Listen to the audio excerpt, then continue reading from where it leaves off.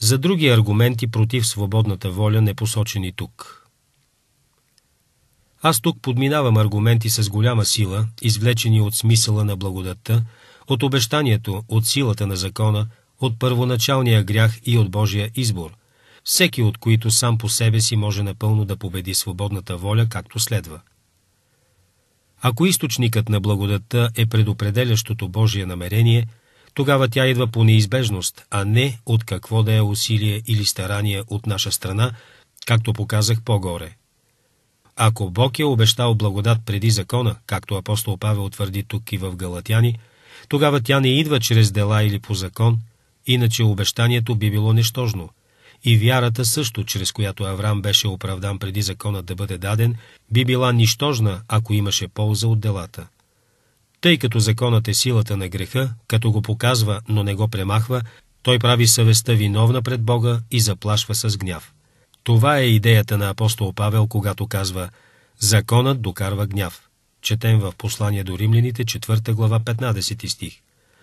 Как тогава правдата може да се постигне чрез закон? И ако не получаваме никаква помощ от закона, как можем да получим помощ само от силата на нашата воля? Тъй като от едно единствено нарушение на един човек, Адам, ние всички сме под грях и осъждение, как можем да протегнем ръката си към нещо, което не е грешно и осъдително? Когато казва всички, той не изключва никого. Нито силата на свободната воля, нито кой да е, който върши дела, независимо от това, че върши дела или се старае.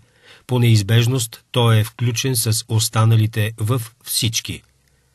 Нито пък ние грешим или сме осъдени по причина на единственото нарушение на Адам, ако това нарушение не е наше собствено, кой би бил осъден за чуждо престъпление, особено в Божия поглед.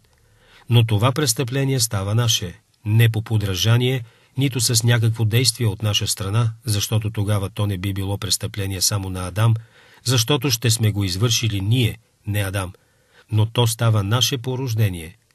Тогава първоначалният грях не позволява на свободната воля въобще никаква сила, освен да греши и да си навлича осъждение.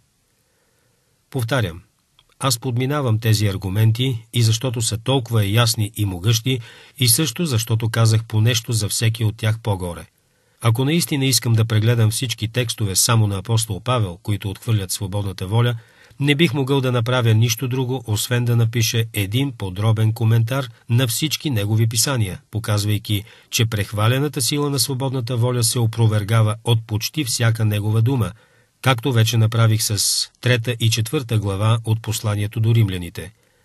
Избрах да се занимая специално с тях, защото исках да покажа за спалостта на всички онези твои приятели, които така четат апостол Павел, че последните неща, които те виждат в тези съвършени ясни текстове, са могъщите аргументи против свободната воля, които споменах, и също исках да изложа глупостта на тяхното опование в авторитета и писанията на древните учени и да ги оставя да обмислят каква сила биха имали горе споменатите ясни аргументи, ако бъдат разглеждани внимателно и разумно.